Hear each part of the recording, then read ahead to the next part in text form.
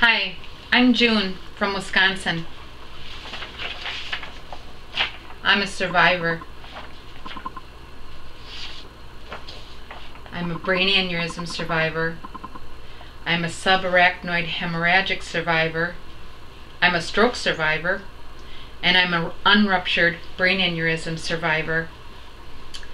Two and a half years ago, about, my brain decided to give me the worst headache of my life. So when you've ever, if you've ever heard that term, if you suffer the worst headache of your life, get to a hospital right away. They aren't kidding. I was in the process of um, dawdling. I was supposed to go and pick up my Harley on April 14th, 2012 from winter storage and decided that I didn't feel very good and didn't really feel like going, which is really unusual. So I decided to vacuum my truck instead to waste time. And luckily for me, because it saved my life, because if I'd been on time and if I'd gone, gotten up and gone anyway, I'd have been on my Harley and I'd be dead from losing control of my bike.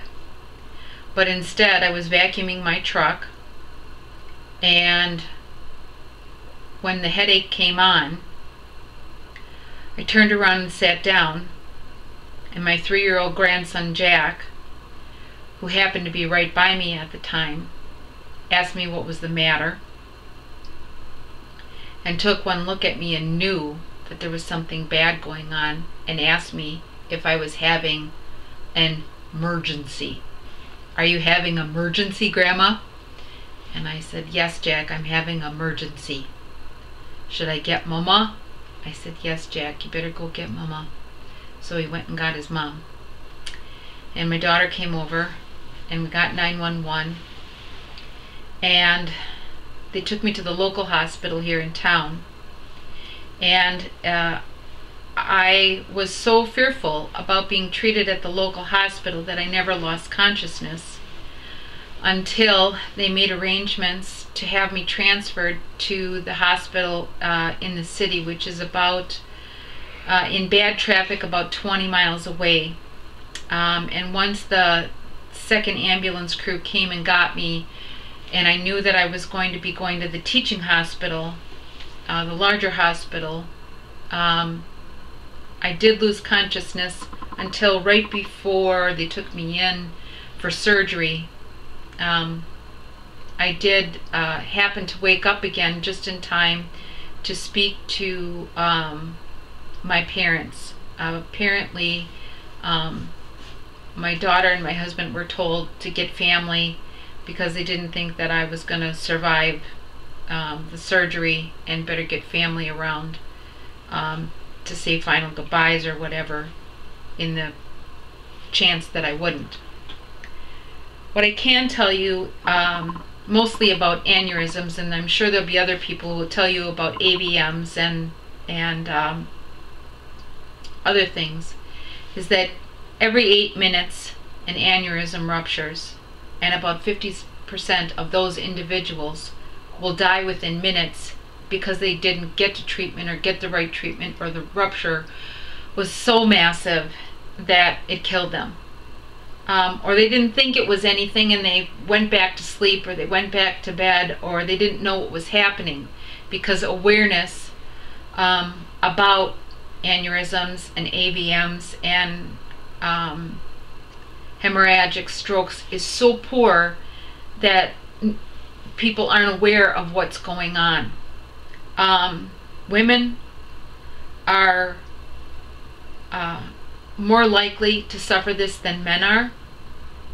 Um, I can tell you that for me, um, the biggest thing for me is that I'm more emotional um, than I was before. Um, my brain is a lot slower than it was before. I was a um, a math star, I guess you could say and now I can't add in my head I can't um, if I'm tired or stressed, I have a hard time processing information at all. I um, get lost very easily. Sometimes I get lost coming home from the grocery store, don't know where I am. I've been on my own street, past my house, pulled over at the side of the road three doors down, and couldn't remember where I was. Um, the biggest thing that I can tell you is that um, it isn't they say that it runs in families and that it can be a hereditary thing. However, in my family, there is nobody that we can find that has it. However, that means that because I am the first person, I've started the link. So my children, my grandchildren, everybody who comes after me um, in my bloodline will have to get screened and be careful. Um, yes, I look well, I look wonderful, my speech sounds good. There are times when I sound like gibberish and don't make sense. Um, my balance is off. I walk like a drunken sailor. I look a lot of times like I'm high or drunk. Um, and um, I'm in pain probably 95% of the time in my head. But I'm blessed.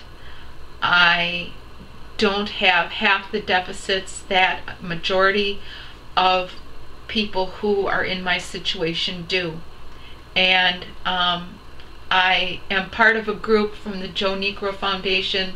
We are about 3,000 strong on Facebook, and that doesn't include our face to face, feet on the ground support groups that are planted in hospitals all over the United States um, and uh, hopefully soon to be face to face groups in hospitals all over the world. We are a worldwide organization. We are in Australia, Ireland, the UK, um, um, oh, see, now here's where my deficit is. We are all over in all different parts of the world.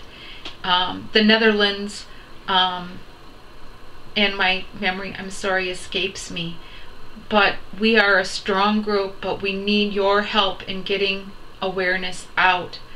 Um, thanks to Natalie Niekro, um, and thanks to her father, unfortunately, who passed away from an aneurysm, that we are unfortunately out here trying to get support out. But um, bless her for starting this in, in her father's name so that we have a platform to raise awareness and get this out. So please help us in getting this fight out um, and getting awareness out. So please help us and share your story, share our stories, and join us on Facebook and join us in a support group. Thank you.